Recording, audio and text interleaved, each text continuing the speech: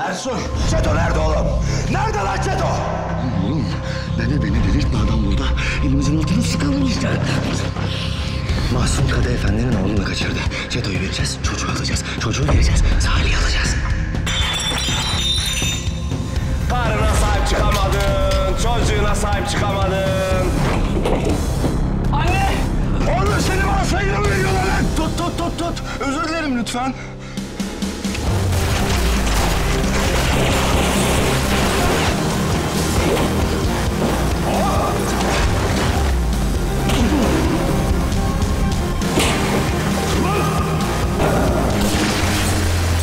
Birlikte gideceğiz.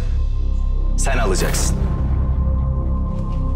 En azından buna hakları var çünkü ne yaptılarsa senin için yaptılar.